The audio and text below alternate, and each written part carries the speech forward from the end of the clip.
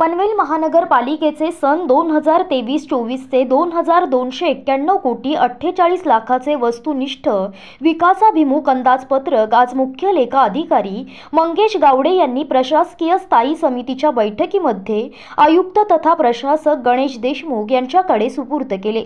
महापालिकेच्या या अंदाजपत्रकामध्ये महापालिका क्षेत्रातील पायाभूत सुविधा ज्यामध्ये मुख्यत्वे आरोग्य सेवा पाणी पुरवठा मल्लनिसारण झोपडपट्टी विकास अशा विविध सोयी सुविधांवरती भर देण्यात आला आहे.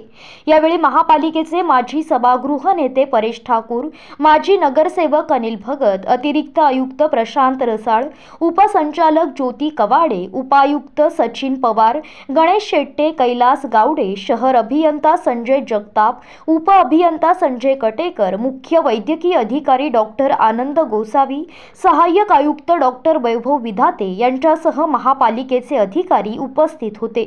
या अंदाजपत्रकामध्ये आरोग्य शिक्षण पाणी पुरवठा अशा गुणवत्तापूर्ण पायाभूत सोयी सुविधा बरोबरच शहर सुशोभीकरण झोपडपट्टी पुनर्विकास अशा महत्त्वाच्या गोष्टींचाही या अंदाजपत्रकात अंतर्भूत करण्यात आले आहेत. यामध्ये प्रामुख्याने पनवेल महानगरपालिका हद्दीतील नागरिकांच्या आरोग्याचा दर्जा उंचावण्यासाठी सात मजली व चारशे पन्नास खाटांचे माता व बाल संगोपन रुग्णालय हिरकणी या नावाने आठ हजार चौरस मीटरच्या जागेवर प्रस्थापित करण्यात आलेले आहे.